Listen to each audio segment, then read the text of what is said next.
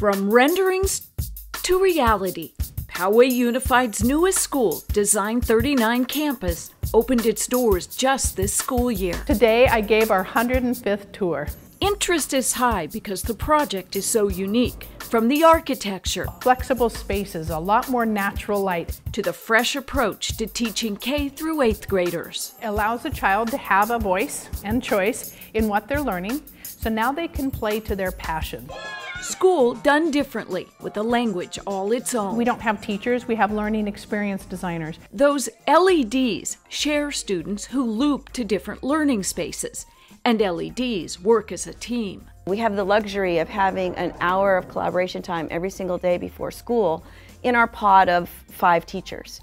A kind of Starbucks without coffee is called a collaboratory, There's pillows, there's rugs. It's just a comfortable way to learn. and every student has a device. Inside each makery is a gold mine for learning by doing. Creative collaboration. Because you like, because it's really fun painting and stuff like that. LEDs find and fuel what interests each child. Today's lesson? Stop motion. While Noah likes frogs, Anne Marie You have to use your imagination. prefers mermaids. It doesn't have to be real. If I'm passionate about sports, I'll write about sports.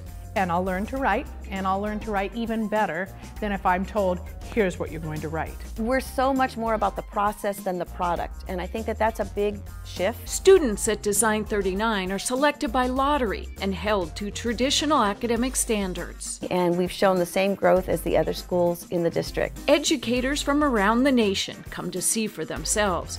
Could this be the future of education? Pretty miraculous to watch.